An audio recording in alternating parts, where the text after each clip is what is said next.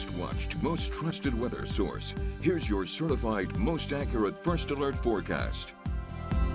70s are disappearing as temperatures start to cool for the evening, already down to 67, 68 degrees, even 64 in Stumpy Point.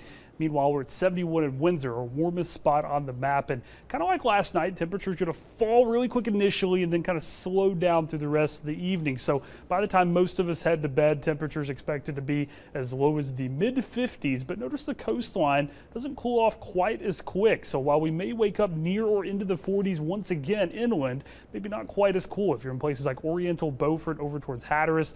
Manteo may be the exception. They may slide down into the upper 50s before temperatures start to warm. I think everybody makes it into the 70s tomorrow. Some of us maybe a couple degrees away from 80 degrees.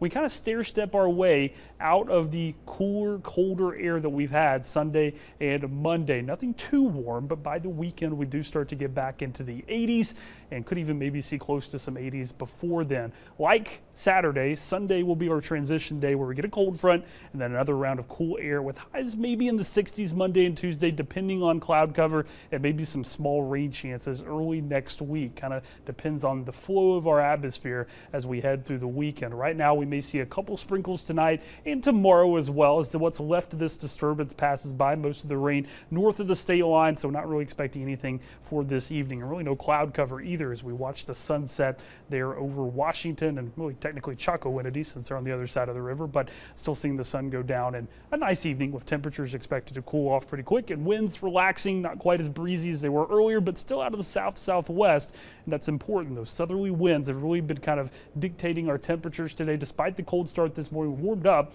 almost 40 or 30 degrees in some spots. And so even though we will cool through the rest of the evening, those southerly winds keep those along the coast, probably more in the 60s rather than the 50s. Now, we usually talk about the tropics, but we don't usually dabble into the Pacific because those systems really, really, rarely ever develop and move our direction. But we do have Max and Lidia, and that's important because even though they are expected to weaken as they make landfall in Mexico, all that tropical moisture is going to kind of team up with another little disturbance in the Atlantic that we're watching. And there's a lot of wind shear. So the chances of this developing into a full fledged tropical system, not very high, but that moisture still has to go somewhere. That gets pushed on shore and maybe a big rainmaker for places south of us, down into South Carolina, Georgia, Florida. For us, maybe a few showers, some light rain creeping up as far as New Bern, but definitely the Crystal Coast, Onslow County have the best chance to pick up some rain while the rest of it the rest of us probably just see some cloud cover.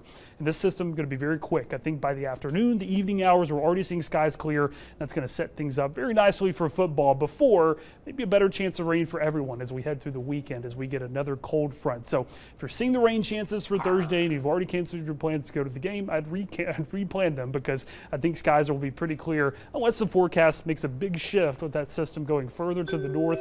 Better chance of rain for Mumfest on Saturday. But again, light rain maybe not around all day. We'll watch that timing a little bit closer. A few more days out, so still some uncertainty with the timing and just how much rain we may get on Saturday.